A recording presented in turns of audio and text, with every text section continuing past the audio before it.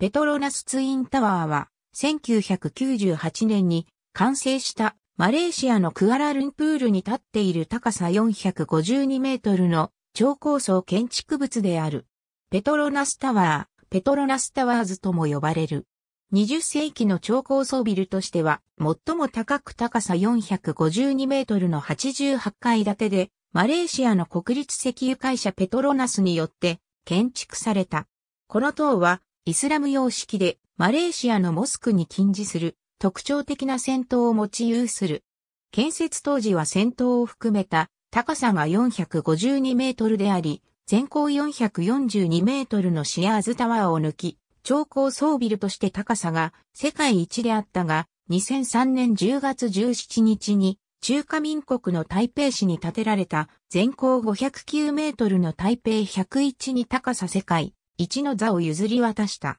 ただしそれ以降も2本のビルがタイであるツインタワーとしては世界一の高さである。アルゼンチンのシーザーペリアンドアソシエイツが設計した海側から吹き寄せる強風に起因する振動を防ぐために既存の重構造を採用していない。鋼材を用いずに高強度コンクリートを積み上げる特徴的な構造であり、重厚な作りを醸し出している。日本の建設会社狭間がタワー1を、韓国のサムスン物産建設部門がタワー2を41階と42階の2カ所に設けられた2本のタワーを結ぶ連絡橋であるスカイブリッジはフランスの建築会社がそれぞれ施行した。ペトロナスツインタワーペトロナスツインタワー先頭主にオフィスビルとして使用されている。マイクロソフトマレーシアマイクロソフトがタワー2の30階に事務所を置いている。アルジャジーラ中東カタールの衛星テレビ局、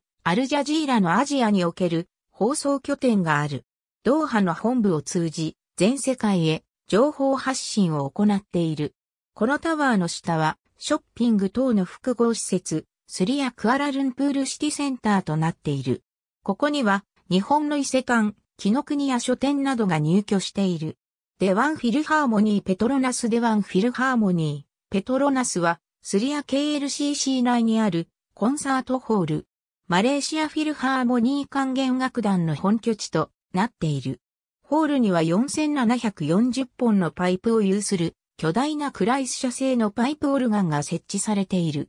ガレリ・ペトロナス・マレーシアで開催される美術展の主要な会場の一つ。伊勢丹主要なテナントの一つ。木の国や書店二つの木座橋に渡っている。外部プールに面しており、カフェもある。ペトロナス・ペトロサインス・セントラ・マレーシアの声優業を広報する目的があり、子供たちがこのセンターを訪れることを奨励している。フライトシミュレーターや乗り物等がある。41階42階部分には、両方のタワーをつなぐスカイブリッジ、86階に展望フロアがあり、有料で見学が可能である。2001年9月11日以降は、セキュリティ強化のために一時閉鎖されていた。建物の周囲には、KLCC パークがあり、ジョギング、ウォーキングロードや、ライトアップされた、噴水、子供用プール、スラウなどもある。エントラップメントペトロナスツインタワーが重要な舞台と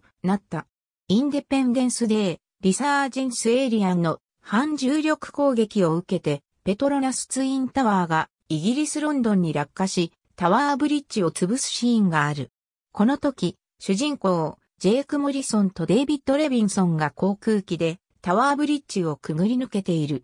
ヒットマンにサイレントアサシン一部のミッションで舞台がタワー内となっている。ラピドクルクラナジャや線の KLCC 駅と地下通路で直結している。ありがとうございます。